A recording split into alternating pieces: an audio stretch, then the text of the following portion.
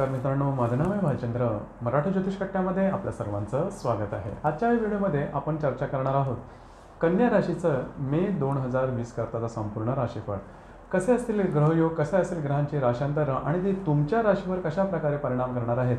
कोणते निर्णय तुम्हाला घ्यायचे आहेत कोणते निर्णय तुम्हाला टाळायचे टाळायचे आहेत? तुमच्या जीवनाचं कोणतं क्षेत्र सर्वात जास्त कंप्लीट होणार आहे? या सर्व संदर्भातली चर्चा आपण या व्हिडिओमध्ये करणार आहोत. आपलं हे जे चॅनल आहे मराठी ज्योतिष कट्टा या चॅनलद्वारे मेष राशीपासून ते मीन राशीपर्यंत सर्व ज्या बारा राशी आहेत त्या सर्व बारा राशींचं मे दोन हजार वीसचं संपूर्ण राशीफळ कशा प्रकारचं असेल या संदर्भातले व्हिडिओ अपलोड होत आहेत आपण त्याचा आनंद जरूर घ्या. चला तर सुरू करू. कन्या राशीचं दोन हजार वीस करताचं दोन हजार वीस मे करताचं संपूर्ण राशीफळ कशा प्रकारचं असतं? सर्वात पहिला ग्रह आपण रवी घेऊ.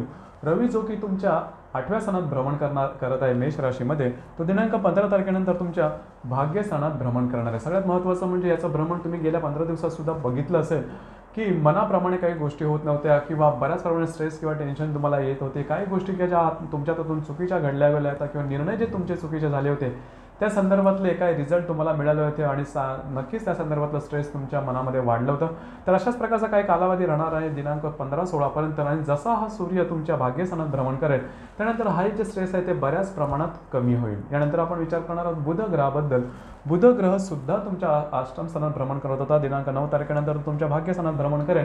आणि अठ्ठावीस तारखेनंतर हा बुध ग्रह तुमच्या दशम स्थानात भ्रमण करेल. म्हणजे नऊ तारखेपासून ते अठ्ठावीस तारखेपर्यंत. हा जो बुधग्रह आहे हा तुमच्या भाग्यस्थानात भ्रमण करणार आहे. महिन्यातला बराचसा कालावधी हा तुमच्या भाग्यस्थानात भ्रमण करणार आहे. तुमच्या राशीचा स्वामीसुद्धा बुध आहे आणि तो भाग्यस्थानात असल्यामुळे ही एक समाधानाची बाब आहे किंवा तसं पाहिलं तर खूपच शुभफलदायी असा योग आहे. कारण बऱ्याचशा गोष्टी ह्या तुम्ही जसं अपेक्षा कराल त्याप्रमाणे कराल. कारण याच्या आधीचा जो कालावधीमध्ये तुम्ही बघितलं असेल तुम्ही ज्याप्रमाणे विचार करता त्याप्रमाणे गोष्टी होत नव्हत्या. खरं तर तुमचा जो स्वभाव तो थोडासा वेगळा आहे प्रत्येक गोष्टी तोलून मापून करणारा तुमचा स्वभाव आहे. परंतु अशा अशा स्वभावाकडून सुद्धा काही वेळा चुका होता किंवा त्या बाबतीमध्ये काही वेगळ्या प्रकारची परिस्थितीला सामोरं जावं लागेल असा प्रकारचे अनुभव तुम्ही घेतले होते. परंतु आजचे म्हणजे ह्या महिन्यामध्ये ते जे अनुभव आहे ते बऱ्याच प्रमाणात कमी होतील. नऊ तारखेपर्यंतचा कालावधीमध्ये म्हणजे जोपर्यंत बुध तुमच्या अष्टमत आहे तोपर्यंत आरोग्याच्या संदर्भातले काही जे त्रास किंवा प्रॉब्लेम तुम्ही अनुभवले ते ते थोडेसे चालू राहतील. दहा बारा तारखेनंतर बऱ्याच प्रमाणात तुमच्या आरोग्याचे त्रास हे थोडेफार कमी प्रमाणात जाणव जाणवायला लागतील. आणि ज्या करिअरच्या संदर्भात ज्या गोष्टी तुम्ही विचार केल्या होत्या त्या संदर्भातल्या काही महत्त्वपूर्ण घटना घडा घडायला लागतील. किंवा त्या संदर्भात काही घटनांना वेग येईल एवढं मात्र निश्चित. आणि ती तुमच्यासाठी समाधानाची बाब नक्की असेल. यानंतर शुक्र जो ग्रह आहे शुक्र ग्रह तुमच्या भाग्यस्थानात भ्र भ्रमण करणार आहे आणि बारा तारखेनंतर हा शुक्र ग्रह वक्री अवस्थेत राहणार आहे. हा शुक्र ग्रह स्वतःच्याच राशीमध्ये आहे. परंतु नशिबाची साथ तुम्हाला मिळणार आहे मात्र हा वक्री ग्रह होणार आहे बारा तारखेनंतर.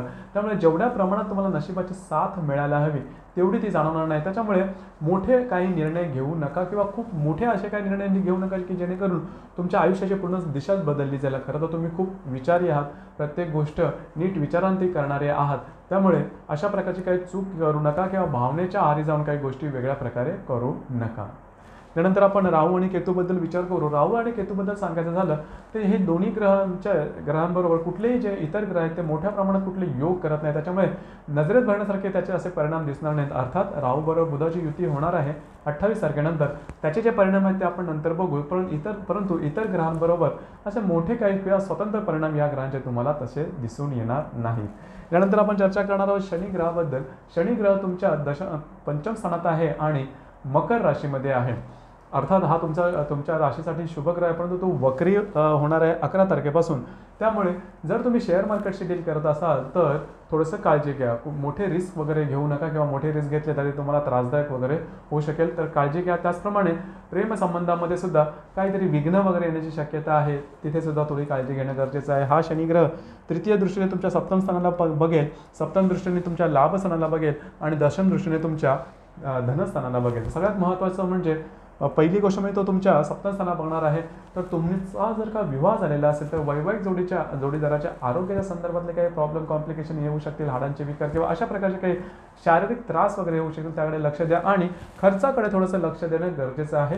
प्रत्यक्ष लाभ मिळणं हे थोडंफार कमी प्रमाणात होऊ शकेल किंवा एक्सपेक्टेशन म्हणजे अपेक्षेपेक्षा कमी मानधन मिळणं किंवा पैशाचीच म्हणजे ज्याला आपण कमतरता भासणं अशा प्रकारचे गोष्टी होऊ शकतील तर त्याकडे थोडंसं लक्ष देणं गरजेचं आहे. आणि जे नेहमीचं आपण प्रत्येक वेळेला आपलं एक शेड्यूल असतं की या म्हणाला एवढी सेविंग झाली पाहिजे एवढी इन्व्हेस्टमेंट व्हायला हवी.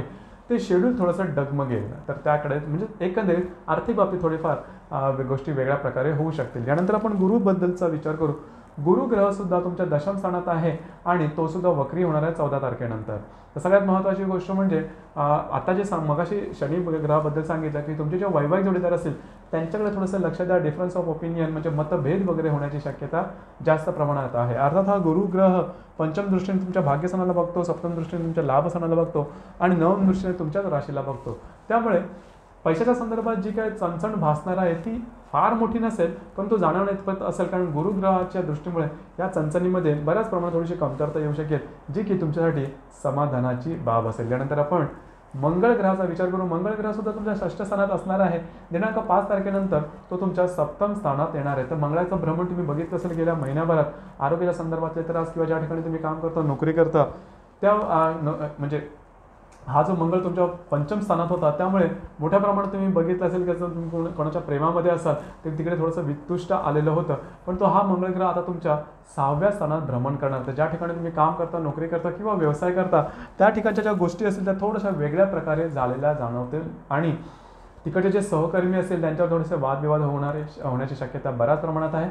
आरोग्याकडे लक्ष द्या. आरोग्याच्या संदर्भातले त्रास वगैरे होऊ शकतील कारण हा सहाव्या सणात येणारा मंगळ हा तुम्हाला आरो आरोग्याच्या संदर्भात त्रास देईल. किंवा याच्या पूर्वी जर का तुमची आरोग्याच्या संदर्भात काही वेगळी हिस्ट्री असेल तर त्या संदर्भात सुद्धा काही लक्षणं दिसू शकतील. काळजी घेणं आवश्यक आहे. जर तुम्ही ॲलर्जिक असाल तर त्या संदर्भात सुद्धा थोडंसं काळजी घेणं आवश्यक आहे. कारण संपूर्ण महिना म्हणजे पाच तारखेनंतरचा संपूर्ण महिना हा जो मंगळ तुमच्या सहाव्या स्थानात राहणार आहे. त्या ठिकाणी तुम्ही काम करता नोकरी करता त्या ठिकाणचे गुप्तशत्रू असेल यांच्यासुद्धा कारवाई थोडा वाढू शकतील. तर मित्रांनो हे होतं कन्या राशीचं मे दोन हजार वीस करताचं ते राशीफळ की जे ग्रहांशी निगडीत आहेत. आपण आता ग्रहयोगांबद्दल बघू बोलू. कारण ग्रहयोगांचं जे प्रिडिक्शन असतं ते साधारण तेवढ्या दिवसांकरता असं नेमके त्याचा अनुभव आपल्याला येतात. तर सगळ्यात मह पहिली महत्त्वाची गोष्ट म्हणजे एक आणि तीन तारखेला शुक्र आणि नेपच्यूनचा केंद्र योग होणार आहे. नेपच्यून जो की तुमच्या सहाव्या स्थानात आहे त्याच्याबरोबर भाग्यस्थानातला जो शुक्र आहे त्याचा केंद्र योग होणार आहे. पहिली सगळ्यात महत्त्वाची गोष्ट म्हणजे पैशाचे जे व्यवहार व्यवहार असेल त्याकडे थोडं लक्ष द्या. या दिवसांदरम्यान म्हणजे एक तारखेपासून ते तीन तारखेपर्यंत कोणतेही मोठे पैशाचे व्यवहार करू नका खास करून इन्व्हेस्टमेंटच्या संदर्भात. काळजी घेणं आवश्यक आहे. त्यानंतर रवी आणि बुधाची युती होणार आहे दोन आणि पाच तारखेदरम्यान.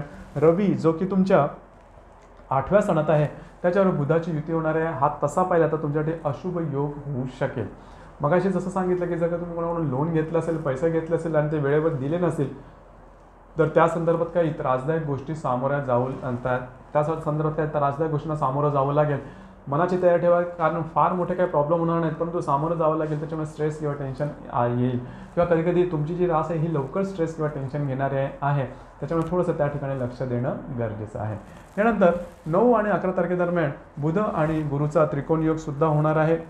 गुरु जो की तुमच्या पाचव्या स्थानात आहे त्याच्याबरोबर तुमच्या भाग्यस्थानात असणाऱ्या बुधाचा त्रिकोण योग होणार आहे की जो तुमच्यासाठी अतिशय आवश्यक आणि महत्त्वपूर्ण असा शुभ योग होणार आहे. घरामधले काही कटकटी असतील किंवा तुमचे वैवाहिक ज्या साथीदाराबद्दल काय प्रॉब्लेम किंवा कटकडी झालेले असेल त्या बऱ्याच प्रमाणात सॉल्व्ह होऊ शकतील. त्यातून त्याच्यातून तुम्ही मार्ग काढू शकाल. वैयक्तिक नातेसंबंधाच्या बाबतीत सांगायचं झालं तर हा जो कालावधी हा कालावधी खूपच चांगला दिसून येईल. आणि त्या दरम्यान तुम्ही काही चा नवीन आयडियाज पर्यंत पण पोचू शकाल. काही प्रॉब्लेम झालेलेच असतील तर त्याच्यावरती काहीतरी इलाजसुद्धा नक्की निघेल. त्याच्यामुळे ज्याला आपण नातेसंबंधाच्या पातळीवरती हा दिवस हे जे दिवस आहे ते तुमच्यासाठी खूपच चांगले जाणार आहे. त्यानंतर बुध आणि शनीचा त्रिकोणसुद्धा यो योग होणार आहे. अकरा तारखेपासून तेरा तारखेपर्यंत त्याची ज्या इंटेन्सिटी ती राहणार आहे. तर बुध हा जो की तुमच्या भाग्यस्थानात आहे त्याच्याबरोबर तुमच्या पंचम स्थानातला जो शनी आहे हा नवपंचम योग म्हणजेच त्रिकोण योग करणार आहे. याची जी तीव्रता आहे ती अकरा तारखेपासून तेरा तारखेपर्यंत असणार अर्थात हा शुभयोग आहे. त्यामुळे तुम्हाला अनपेक्षित लाभ वगैरे मिळण्याची शक्यता आहे. जर तुम्ही शेअर मार्केटची डील करत असाल तर या दरम्यान तुम्हाला काही चांगल्या प्रकारचे लाभसुद्धा मिळू शकतील. अनपेक्षित लाभ. आणि जर तुम्ही कोणाच्या प्रेमामध्ये असाल तरीसुद्धा तुम्हाला चांगल्या प्रकारचे अनुभव या दरम्यान नक्की मिळतील. यानंतर याच तारखेदरम्यान मंगळ आणि बुधाचा केंद्रयोग सुद्धा होणार आहे. मंगळ जो की तुमच्या सहाव्या स्थानात आहे त्याच्याबरोबर तुमच्या भाग्यस्थानात असणाऱ्या बुधाचा केंद्रयोग होणार आहे. हा योग अतिशय महत्त्वाचा आहे. थोडासा अशुभ योग आहे. आरोग्याकडे लक्ष देणं अतिशय आवश्यक आहे. आरोग्याच्या संदर्भातले काही अनपेक्षित जी प्रकरण आहेत ती थोडीशी वर येऊ शकतील. ज्या ठिकाणी तुम्ही काम करता नोकरी करता किंवा व्यवसाय करता त्या ठिकाणच्या व्यक्तीसुद्धा थोड्याशा वेगळ्या वागतील. ऑफिस पॉलिटिक्स थोडंसं जास्त प्रमाणात दिसून येईल. महत्त्वाचं म्हणजे कोणाला या दरम्यान कुठल्याही प्रकारचं कमिटमेंट वगैरे अजिबात देऊ नका. कागदोपत्री व्यवहार करताना थोडंसं काळजी घ्या. यानंतर एकवीस तारीख ते तेवीस तारखेदरम्यान बुध आणि शुक्राची युती होणार आहे तुमच्या भाग्यस्थानात. हा जो योग आहे हा योग तुमच्यासाठी अतिशय शुभफलदायी होणार आहे.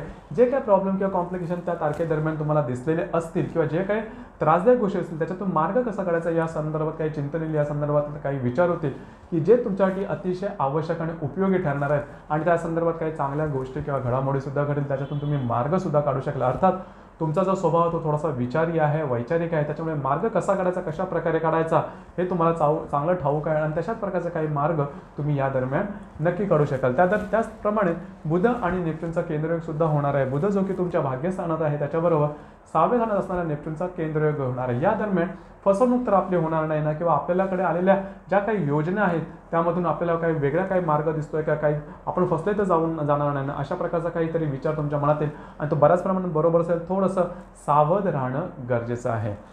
यानंतरचा जो योग आहे हा अतिशय आवश्यक आहे. कारण दिनांक अठ्ठावीस ते तीस किंवा एकतीस तारखेदरम्यान बुध आणि राहूची युती होणार आहे. तुमच्या दशमस्थानात हा ग्रहयोग अतिशय आवश्यक आहे. या दरम्यान फसले जाण्याची फसवले जाण्याची शक्यता बऱ्याच प्रमाणात आहे.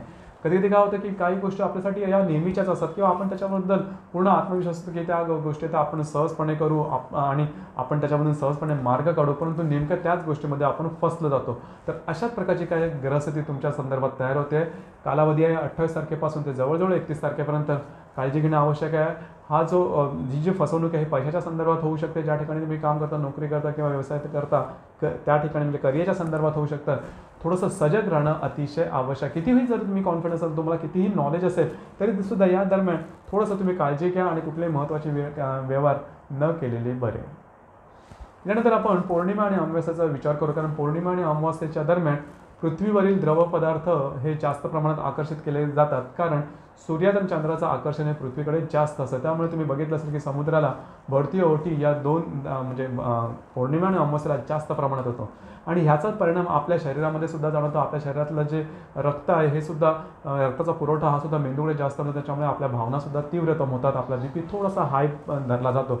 आपण थोडंसं जास्त इमोशनल होतो. त्यामुळे या कालावधी दरम्यान कोणत्याही प्रकारचे मोठे निर्णय घ्यायचे नसतात. वादविवादामध्ये जायचं नसतं. कमिटमेंट करायचे नसते. प्रॉमिसेस तर बिलकुलच करायचे नसतात. तर अशा गोष्टींपासून थोडंसं सावध राहणं गरजेचं आहे. मग हे दिवस कोणते आहेत? तर पौर्णिमेचा जो परिणाम असणार आहे तो साधारण दोन तारखेपासून चार तारखेपर्यंत असणार आहे. आणि अमावास्याचा जो परिणाम असणार आहे तो एकवीस तारखेपासून ते दिनांक चोवीस तारखेपर्यंत जास्त प्रमाणात असणार आहे. तर या दरम्यान थोडीशी काळजी घेणं आवश्यक आहे. मोठे निर्णय कोणत्याही प्रकारचे घेऊ नका. तर मित्रांनो हे होतं कन्या राशीचं मे दोन हजार वीस करताचं संपूर्ण राशीफळ. आपल्याला हे राशीफळ कसा वाटला? आपण त्याचा कशा प्रकारे अनुभव घेतला? या संदर्भात खाली कमेंट बॉक्समध्ये नक्की कमेंट करा. त्याचप्रमाणे आपण आणखीन एक चॅनल लॉन्च करणार आहोत. त्याचं नाव आहे रहस्य जीवनाचं. जीवनामध्ये असे कितीतरी प्रकारचे रहस्य असतात किंवा अज्ञात गोष्टी असतात की ज्याबद्दल आपल्याला नेमकं माहिती नसते ठाऊक नसतं. जाणून घ्यायचा आपण प्रयत्न बराच करतो पण नेमकी माहिती मिळत नाही. तर अशाच प्रकारच्या काही गोष्टी किंवा अशा काही चालीरीतीसुद्धा असतात तर त्यामागचं मर्म आहे ते आपल्याला कळत नाही. तर अशाच प्रकारच्या गोष्टी आपण या चॅनलवरती लॉन्च करणार आहोत. मोटिवेशनच्या संदर्भातल्या सुद्धा काही स्टोरीज आहेत त्यासुद्धा आपण या चॅनलवरती लॉन्च करणार आहोत. चॅनलची जी लिंक आहे ते खाली डिस्क्रिप्शन बॉक्समध्ये दिली जाईल जरूर चॅनलवर जा चॅनलला लाईक शेअर आणि सबस्क्राईबसुद्धा जरूर करा. आणि आत्ताचा हा जो व्हिडिओ आहे कन्या राशीचं मे दोन हजार दोन हजार वीस करताचा राशीफळाचा हा सुद्धा आपल्याला कसा वाटला? आपण त्याचा कशा प्रकारे अनुभव घेतला? या संदर्भात खाली कमेंट बॉक्समध्ये नक्की कमेंट करा. आणि आपलं हे जे चॅनल आहे मराठी ज्योतिष कट्टा हे लाईक शेअर सबस्क्राईब जरूर करा. धन्यवाद.